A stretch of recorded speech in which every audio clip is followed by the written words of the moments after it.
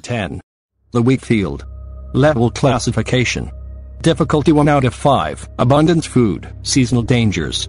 Entity count 2 out of 5. Dangerous passive entities. Chaos gradient 1 out of 5. Seasonal changes. Bassett Fraser Index 1.113 out of 5. The level is quite livable if you leave before seasonal changes. Description. Level 10 is a presumably infinite field of crops. The field grows almond grains, a plant unique to the backrooms. Almond grains can be processed into almond water by grinding them into a fine powder and mixing them with water. The plants follow a seasonal growth cycle, blooming in the summer and going to seed in the fall. The level is divided into patches approximately 50 acres apiece, each of which experiences seasons out of sync with the others. In the spring the plants release mind-affecting pollen that blurs senses and in large doses acts as a hallucinogenic. Wanderers exposed to the pollen will wander aimlessly about level 10 for several days before collapsing.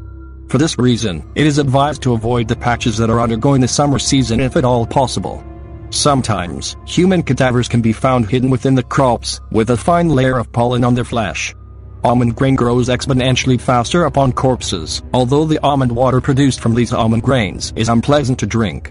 If an affected wanderer is escorted out of level 9 and washed of the pollen before they collapse, they can be cured of the effect.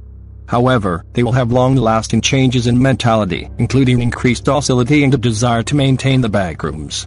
The longer a wanderer was under the influence of the pollen, the stronger these changes become. Occasionally, barns can be found in the fields of level 10. These barns vary in condition from decaying to brand new.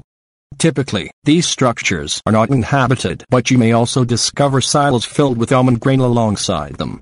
Near the assumed center at level 10, you will find that a majority of silos in proximity to local settlements will be emptied out.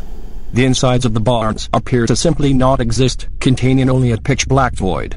What happens to people who enter the barns is unknown. Exactly how these barns are constructed is beyond the knowledge of researchers. During the fall season of level 10, large biological harvesting machines will collect almond grains. Moving at speeds topping 50 miles per hour, the harvesters pose a significant threat to wanderers. These harvesters will relocate the harvested almond grain and store them in nearby silos. Once these silos are full, they will take the contents of the silo and take them into the barns. It is theorized that once the almond grains are taken into the barn, they will be processed and distributed to levels of fresh almond water.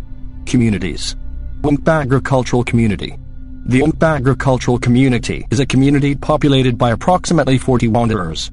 They are a nomadic group, as they travel to harvest rocky areas that grow and harvest almond grain to be distributed to stores throughout the backrooms. This is an economic powerhouse for the Wimp so there have been attempts by opposing communities to prevent further development. Assorted camps Several nomadic communities populate level 10, these communities usually plunder nearby silos or harvest almond grain from fields in the fall season, typically both. The aforementioned communities can vary from friendly to hostile so it is suggested to approach them with caution. Assorted camps. Several nomadic communities populate level 10. These communities usually plunder nearby silos or harvest almond grain from fields in the fall season, typically both. The aforementioned communities can vary from friendly to hostile so it is suggested to approach them with caution. Entrances and exits. Entrances. Level 10 can be entered by digging up through patches of earth found in the ceilings of some of the caves in level 9. Exits. Isolated doors can be found in level 10, which when opened and passed through lead to level 11.